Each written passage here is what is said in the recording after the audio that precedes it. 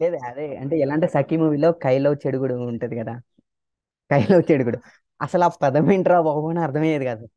అయితే ట్విట్టర్లో వచ్చినప్పుడు ఆ, కిట్టు గారు ఎక్స్ప్లెయిన్ చేశారనమాట ఈ వాజ్ రిప్లైన్ టు సమ్వన్ ఏమన్నారంటే ఆ, మనం పేకాట ఆడుతున్నప్పుడు కాయ రాజా కాయ అని రాస్తాం కదా.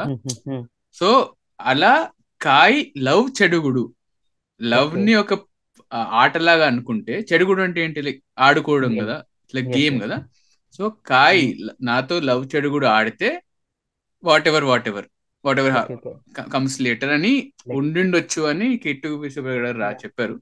బాగుంది ఎక్స్ప్లెనేషన్ అనుకున్నా నేను.